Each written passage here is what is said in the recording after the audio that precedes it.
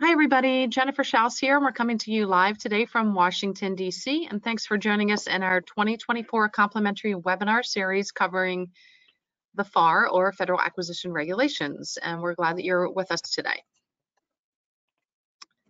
Okay, uh, a little bit about the series. As usual, all of our webinars are complimentary and recorded. Uh, the FAR has 52 total parts, and we will run through them sequentially each week on Wednesdays and Fridays at noon Eastern Time, unless, of course, there is a holiday. Uh, the recordings and PowerPoints will be posted within 24 hours of the webinar ending. You can find the recordings on our YouTube channel simply by subscribing to it using the link you see on the screen. There is absolutely no cost to do that, just two seconds of your time. You can find the PowerPoint on slideshare.net using your LinkedIn credentials. And again, there's absolutely no cost, just two seconds of your time. Uh, we also offer sponsorship opportunities. So if you're interested in sponsoring the webinar series, please send an email to the hello at jenniferschaus.com uh, email address. Okay, uh, how do you sign up for the series? Unfortunately, there is no bulk registration. You must register individually for each webinar. If you go to the Jennifer Schaus website, navigate to the section called the FAR, and you'll find the individual registration links. Also, the recording links will be posted here upon completion of each webinar, so no need to send us emails looking for the recordings. Just go over to the section and scroll down to get the recordings. Or simply, like I said, uh, subscribe to the YouTube channel. Uh, please note we covered the FAR in 2020, so if you are eager to get a jump start, please find these historical recordings on our site. Navigate to the webinars tab, scroll down to the section the FAR 2020. Because it's been four years, many of these regulations have changed and been updated. So please use this as a reference tool only. A little bit about us. We work with established federal government contractors worldwide, helping them to navigate the market. Our services range from market analysis reports to contract vehicles and compliance. Some of the contract vehicles we support are listed here on your screen. For more information, please visit our website. Uh, and for those that are uh, selling services to federal contractors, we also provide marketing and advertising opportunities. Uh, we can add extra muscle to your marketing efforts via our newsletter ads and webinar sponsorships to in-person events. Please mail us and ask for our media kit. And speaking of events, we hope you'll join us uh, less than a week away. It's five days away at the John F. Kennedy Center on Monday, February 12th. It's in the evening. It's 5.30 to 7.30. Our winter soiree will bring in about 300 plus federal contractors as well as confirmed attendance from, hop over here, confirmed attendance from the Air Force, NAVSEA, NAVAIR, NSWC, the, the SBA, HHS, uh, state, and the VA. We've also got some great corporate sponsors and in-kind sponsors. Please register in advance on our website under the section called events as tickets generally will sell out and we hope to see you there. Again, this is Monday, February 12th, so Monday of next week. Uh, we've also got some classes coming up on uh, next week on Thursday, the 15th. It's a two-hour class with our friends over at the Virginia Apex Accelerator. It's a marketing class for government contractors. It is a very basic 101 class. You can register for this on our website, again, under the events section. we have some sponsored content webinars coming up. Uh, the Federal Forecasting app is putting on another webinar with us on Tuesday, March 12th. We're still waiting for the title for that one. Um, the same week of uh, that same week, you can also then register for the Agile ATS webinar. These are all complimentary on recruiting strategies, systems, and tactics for government contractors. Uh, and then my GovWatch is um, doing a great piece on RFP cliches debunked what government buyers really think. They've done some, conducted some surveys and they've got some great data to share. We then have a two-part series on SBIRs and STTRs with Carrie Palmatier from Palmatier Law. Those won't be until June, but uh, highly encourage you to register uh, for those. I think those are both, uh, we may have the day wrong, but I think those are Tuesdays, if I'm not mistaken. They could be Thursdays. Uh, but the dates are correct, June 20th and 27th. Uh, in March, uh, end of March, uh, we're covering GSA schedules with the uh, Western Michigan Apex Accelerator. Uh, the registration link is also on our website. If anybody needs help with NASA SEWP or DHS PACS, we can assist. Uh, again, drop us the email, drop us an email to the hello at jenniferschaus.com. Okay, let me thank our webinar sponsors because our webinars are complimentary.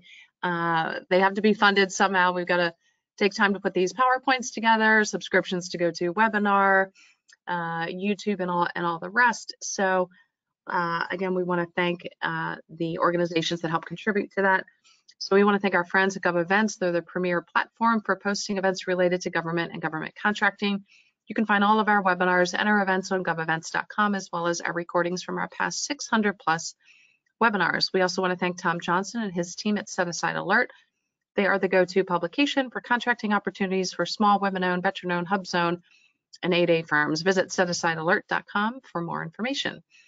The Fairfax Economic Development Authority has an online calendar of events and webinars, and we want to thank them for posting our events and webinars on their calendar. The Virginia Apex Accelerator at George Mason University in Virginia offers free one-on-one counseling to established government contracting firms in Virginia on federal, state, and local procurement topics. If you're interested in learning more, please use the links provided to explore services, review homework recommendations, register for live training, and find useful links to agencies and other self-directed learning. Uh, one-on-one counseling is, however, limited to eligible client companies. And appointment requests um, are right now on very high demand, so they will be handled in the order that they're received. Uh, they've got plenty of online resources and group trainings, uh, which are free with no restriction on where your business is located. You've got some links, email addresses, and phone numbers there on your screen, so we encourage you to use those. The Greater Reston Chamber of Commerce has a monthly government contracting council meeting. Uh, it's always the last Tuesday of each month at 8.30 a.m. Contact Alicia Field if you have questions or want to participate. Uh, BidSpeed, you want help winning government contracts? BidSpeed can help. Users can find bidding opportunities from federal, state, and local government. Additionally, you can search for teaming partners, incumbent point of contact, expiring contracts, compliance matrices, and also proposal templates. Create your login today at bidspeed.com and please note BidSpeed is an official partner of the SBA's 7J Management and Technical Assistance Program. Okay, and FBC events are the ultimate engagement channel to bring government and industry together. 68% of government personnel report that they attend more than one event each year. That's a pretty high percentage. Uh, FBC has worked with government and industry for 45 plus years to create gatherings where ideas are shared and to help government achieve its goals. These include agency industry days, cybersecurity symposiums, tech expos, and offsite meetings. FBC provides full lifecycle meeting planning and event management. With over 5,000 meetings under their belt, FBC has the experience, systems, and personnel to make your next event exceptional. Learn more at fbcinc.com and GovBrew. Please check out our friends over at GovBrew. GovBrew is the most read government contracting newsletter, keeping thousands of government contracting professionals in the loop with news, updates, and opportunities in the federal contracting market. It's all in a very fun and accessible email that only takes five minutes to read. It's 100% free to join. Goes out every Monday, Wednesday, and Friday at 7 a.m. It's filled with great content, event postings, webinars, and more. Again, we encourage you to sign up at govbrew.co uh, or you can use the QR code uh, that you see on the screen. Okay, uh, today we're covering FAR Part 4. We've got Bill Welch from uh, the Reston Law Group. Uh, Bill, it's great to have you with us. I'm going to stop talking. I'm going to put myself on mute, and you just let me know when you are ready for the next slide to be advanced. Okay. Um, let's go ahead and advance one. and then um, that's a short bio, then advance, advance one more. Okay, let's start here. Um, before we actually start, uh, just a quick uh, introduction. My uh, name is William Welch, and I am a co-founding partner of the Reston Law Group, which was created in January 2023 by the merger of our firm, McMahon, Welch, and Learned, and the firm of David Brody and Dondersheim. Both of these firms had strong government contracts practice. Together now, we have a practice in areas of business and corporate law, business litigation, intellectual property, and estate planning. Um, I've been a government contracts litigator for about 32 years. My practice specifically includes um, federal bid protests at the GAO, Court of Federal Claims, and the FAA. Also, I do size and status protests before the Small Business Administration uh, involving small businesses, service disabled businesses, and hub zone businesses. Today, we're speaking about the Federal Acquisition Regulations Part, FAR Part 4. Um, as you may know, the Federal Acquisition Regulations are part of the United States Federal Reg Code of Regulations. Excuse me, the Code of Federal Regulations. In particular, in particular, they are Title 48, uh, covering government acquisition regulations. The FAR as we know it, parts 1 through 53, are um, Title 48 of the CFR, Chapter 1 only. Um, other chapters include individual agency acquisition regulations, such as um, the Defense Acquisition Regulations or the DFARS, um, which would be 48 CFR Chapter 2. In our case, we we are discussing only FAR Part 4 of Chapter 1 of Title 48, commonly referred to as FAR Part 4. Speaking generally, FAR Part 4 contains 22 subparts. Many of these parts are simply contract formalities that most people would consider informal or even trivial matters, such as the contract must be in writing. The contract must be signed by the contracting officer, must be signed by the contractor or the contractor's authorized representative. In the case of joint ventures, must be signed by each joint venture member and must be distributed to the contractor and to various contract offices in charge of payment and oversight. We won't be discussing uh, each section of the FAR, um, um, excuse me, each section of FAR Part 4 today, um, but uh, I've generally summarized FAR Part 4 into um, um four sections. Um, from which we uh, will select four important uh, subparts for discussion. The first section includes the sections on contract formalities, as I mentioned before, such as contract execution, required signatures, distribution of paper copies, or more commonly electronic copies of the contract and all the subsequent contract modifications. Second is the government contractors, contracting officers' responsibilities which include the requirement for electronic commerce contracting where possible, contract reporting, identity verification, disclosure of information to the IRS, and disclosure of information to the Federal Procurement Data System, or the FPDS, which we'll discuss in more detail later, as well as the safeguarding of classified information.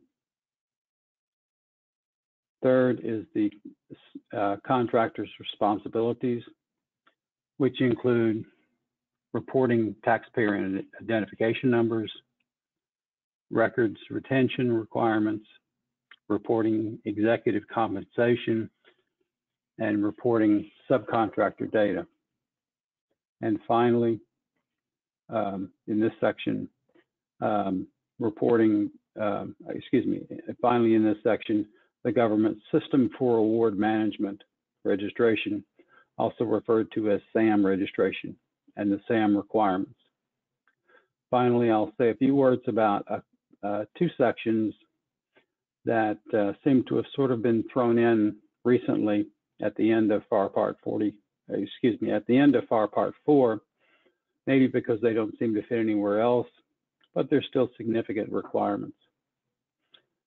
If we could move to the next slide.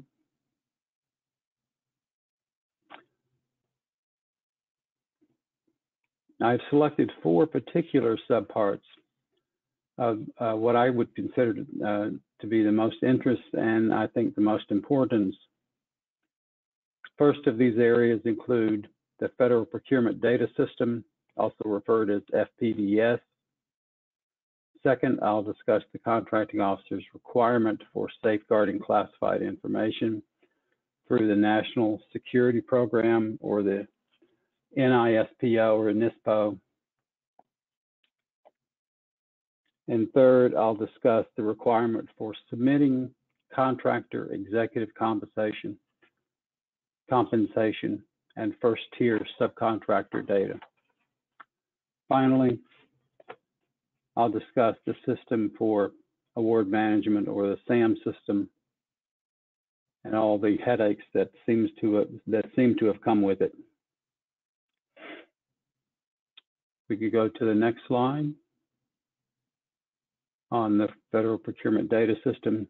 Under FAR Part, excuse me, under FAR Subpart 4.6, covering the Federal Procurement Data System, the government is required to report contracting events, which are defined as any purchase or acquisition or any contract modification.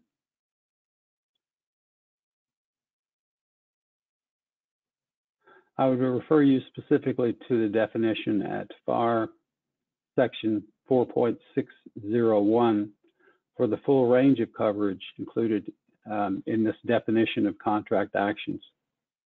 But the Federal Procurement Data System was established by the government to track and report contractor activities, including past performance, which goes back in some cases to 1976.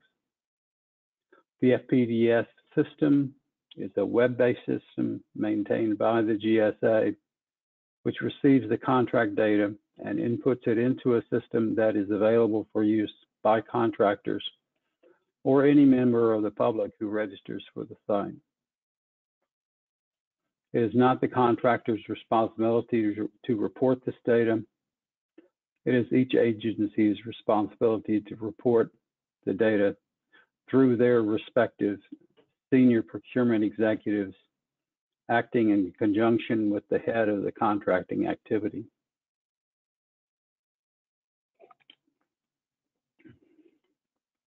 In addition, it is the contracting officer's responsibility to provide contract action reports within 30 days of the contracting event.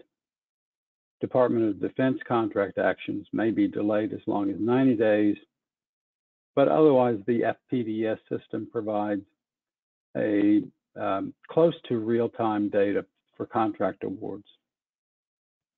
The FPDS system does not provide any information on classified contracts and does not include certain data such as contract contractor proprietary data, procurement sensitive data or evaluation materials, cost and pricing data from the contractors or subcontractors. And um, uh, the data that is released must include all uh, must include data from any definitive contract. That is any actual agreement um, between the government and the contractor. Um, that which includes any regular uh, typical government contract, um, any indefinite delivery vehicle contracts, any task and delivery order contracts, government-wide acquisition contracts or GWACs, and multi-agency contracts. It also includes GSA federal federal supply schedule contracts, blanket purchase agreements, basic ordering agreements, and any other agreements or contracts against which individual orders or purchases may be placed. It does not include contracts below the micro threshold, uh, the micro purchase threshold. Any um, non-appropriated fund contracts, any lease and supplemental lease agreements for real property, and um, federal grant details. The FPDS system is an excellent source of information on agency awards over a selected period of time. This allows contractors, for example, to identify competitors' performances within agencies along with the dollar amount of the, compet of the competitor awards over the last few years. Contractors can also identify areas of contracting opportunities and may assist them in identifying potential teaming partners performing within contracts in an agency. If I could have the next slide, please.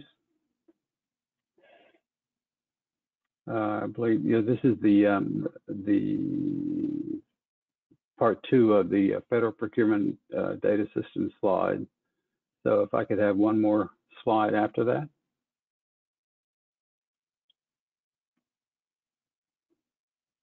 The next area I wanted to highlight under FAR Part 4 is the requirement for safeguarding classified information to contractors. The government has established the National Industrial Security Program, or the INSP, which governs federal procurement classified information, excuse me, federal government classified information released to government contractors. This program is specifically designed to cover contractor employees who must manage contract information as part of their contract responsibilities. This is different from the requirements for handling classified information by government employees.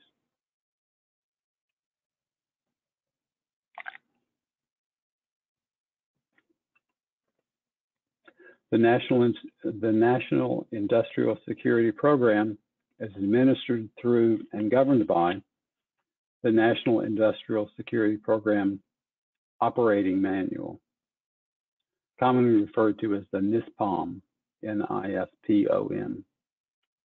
The NISPOM is administered by the Department of Defense and also regulates those non-DoD agencies that have industrial security agreements with the DoD. The NISPOM contains further details and is available online for anyone who wants to download it. Uh, next slide.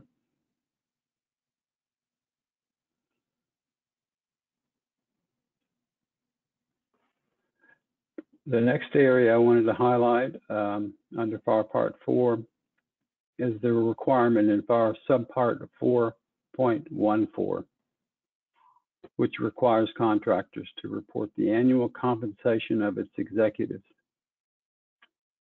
In addition, contractors are required to report data of its first tier subcontractor. Uh, just, an, uh, just as an aside, I will note that I was quite surprised when this came out a few years ago. Um, I think during maybe the Obama administration. Um, simply because um, um, I don't think it was discussed uh, for very long and not in much detail, um, generally speaking. Um, but all of a sudden was um, uh, a responsibility put on the contractors to deliver certain data that most contractors would normally consider to be confidential or proprietary information.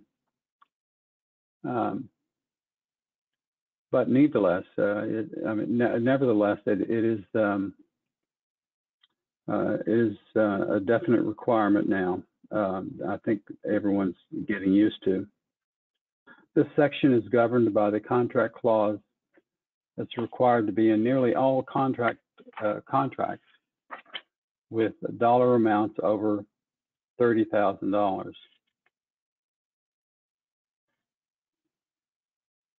In particular, section 4.1402 requires the contractor to report the compensation of its executive officers or, depending on its corporate structure, its managers or its partners' compensation. This disclosure requirement covers the prime contractor as well as its first tier subcontractor. The disclosure must also include, among other things, contract award data, uh, the contract award date, uh, and the contract value, the subcontract award date, um, uh, and a description of the products and or services being provided by the contractor under the contract. It also requires the contractor to provide the executive compensation of its first tier subcontractor. Contractors or subcontractors who had gross income from the previous tax year of less than $30,000 are not required to make these disclosures.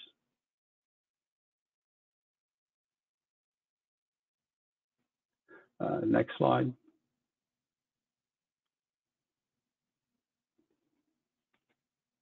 The last of the four areas that I wanted to, to, to, to discuss in FAR Part 4 is the government's System for Award Management, or its SAM registration or sam.gov registration.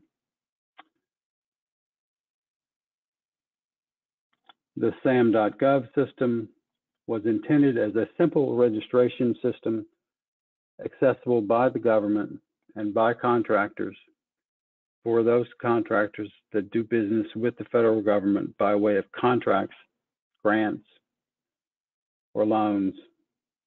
Even companies who are um, interested in performing contracts should be registered in order to facilitate their ability to submit a proposal on a contract. SAM is a requirement for any entity to submit a proposal, a quote, a bid, or to receive the benefit of any contract event. Any contractor submitting an offer, bid, or quote must be registered in SAM before receiving an award. Um, if you could, let's see, could you go to the next contract? Uh, the next slide, I'm sorry. Uh, I'm sorry, go back, uh, go back. There we go, okay. Um, contractors must update and monitor uh, their SAM registrations on a regular basis. These SAM registrations carry an expiration date and must be recertified regularly to avoid expiration. Expirations are automatic if the registration is not regularly maintained. In order to do business with the government, contractors must always proactively maintain their, uh, their registration. The SAM.gov site uh, has provided over the years many headaches and problems for contractors. Sometimes the problems um, are actually trivial errors or small bumps in the road, but sometimes these problem, uh, problems can be extremely important. The SAM requirements include the contract clause that requires each offeror or uh, bidder or quoter for a contract award to maintain a continuous registration between the time of proposal submission and contract award and then during performance of the contract and through final payment and contract closeout. It's important to note that SAM registrations must be continuous and not just active at the time of submitting a proposal and active at the time of receiving an award. Just two years ago, I helped a contractor protest its exclusion from the competitive range because the government took more than a year to evaluate a proposal. During that time, between the contract proposal submission and the contract award, the prime contractor's first tier subcontractor went out of business. Following that, the proposed subcontractor let its SAM registration expire automatically. My client, the prime contractor, had been selected for award eventually and uh, had always maintained an active SAM registration during the period of submission and contract award. But its subcontractor had not. Because the solicitation required both the prime and the first tier subcontractor to be registered in SAM, the agency declared that the prime contractor's proposal was ineligible for award. The agency did not care about the fact that the subcontractor had gone out of business, only that it had let their SAM entry lapse. The GAO agreed with the agency and found my client ineligible for award. It strictly construed the requirements of SAM.gov.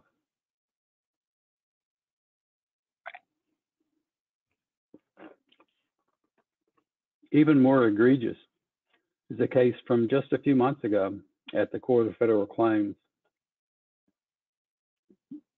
that also construed the SAM.gov requirements very strictly. In that case, the prime contractor submitted its proposal for award of a contract. Between the time of proposal submission and contract award, the company allowed its SAM registration to lapse, but only for a very short period of time. When it, dis it discovered the lapse, the contractor um, updated its entry, reactive and reactivated its its uh, registration um, well before the time for award. The agency made the award not knowing of the brief lapse in the prime's SAM registration. A competitor discovered the brief lapse and protested the award, claiming the prime contractor was ineligible for award.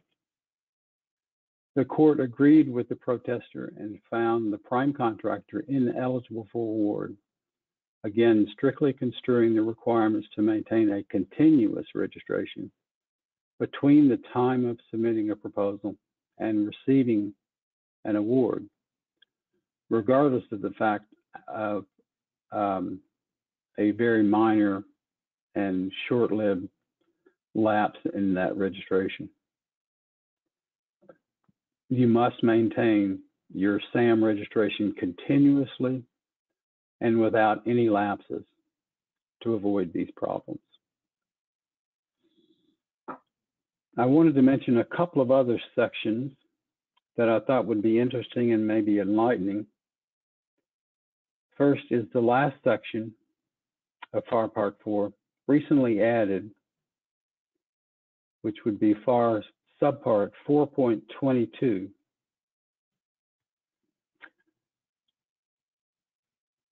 FAR subpoint 422 includes a prohibition on ByteDance covered applications. Just to spell that term if you're not familiar with it, B-Y-T-E-D-A-N-C-E. ByteDance is a Chinese internet technology company headquartered in Beijing. Um, the uh, uh, ByteDance company uh, maintains several um, uh, social net networking services, including TikTok. Um,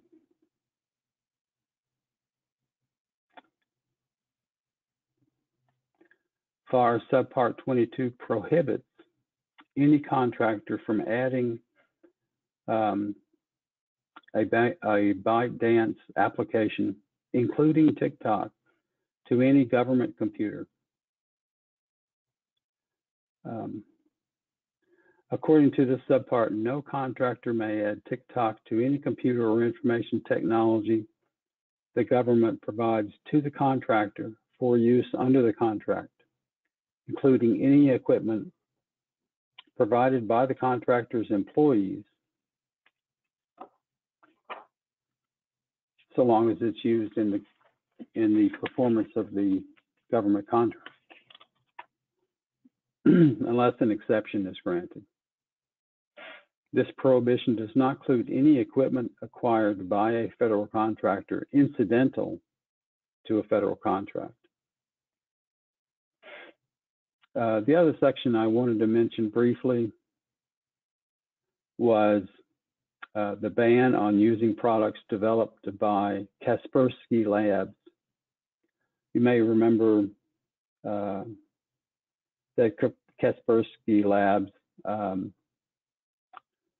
uh, did distribute um, uh, several um, uh, virus and other protective type software um, for virus detecting and other um, computer protecting software.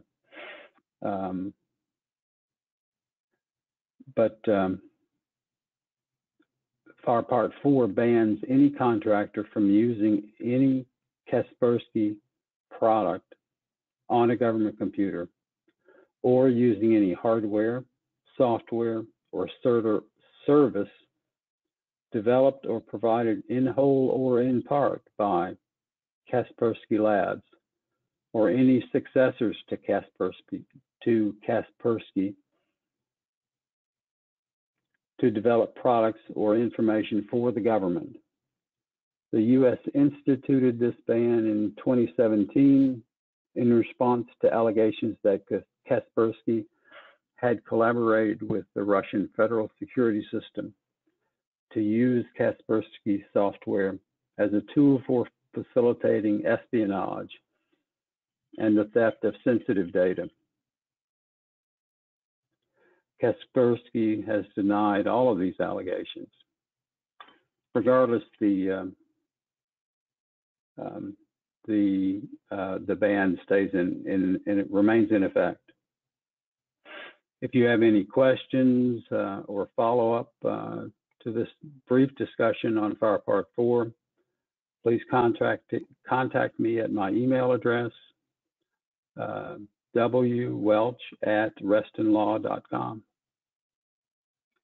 Bill, thanks you for uh, thanks, Bill, for the the nice presentation on uh, FAR Part Four. As you said, if you've got questions about anything in, uh, related to FAR Part Four that he covered or didn't cover, we've got all of his contact information here.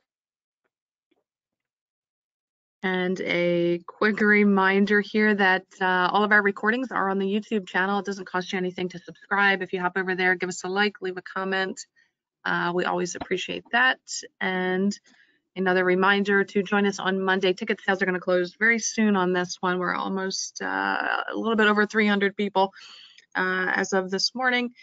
So feel free to register. That's on our website under events. And again, that's February 12th, Monday at the Kennedy Center with these great government uh, departments and agencies, as well as our uh, corporate sponsors and our in-kind sponsors. Again, find that registration link on our website, jenniferschaus.com, navigate over to events, and uh, they're all listed there by date. So just scroll down to February 12th.